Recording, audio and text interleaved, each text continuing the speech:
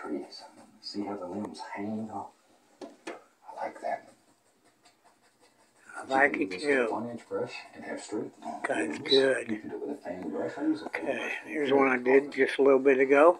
You can do it with a two inch brush. It all works very well. But if you want these hanging down looking limbs like this, I find it much better to use this oval brush. There. And all we're doing here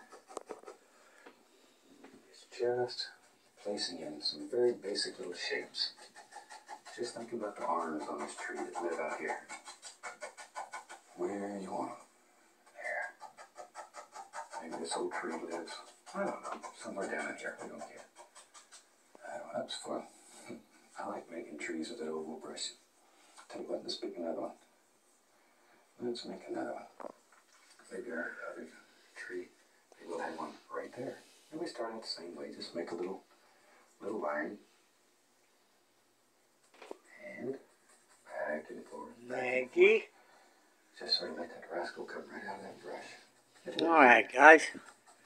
Doing a little bit of uh, painting, oil painting, testing out. Sometimes they'll hide in there. You have to sort of out. Like, give me a thumbs up, and subscribe. And then a fantastic And I'll leave in the description down below Now, shoot, you know, what's going on.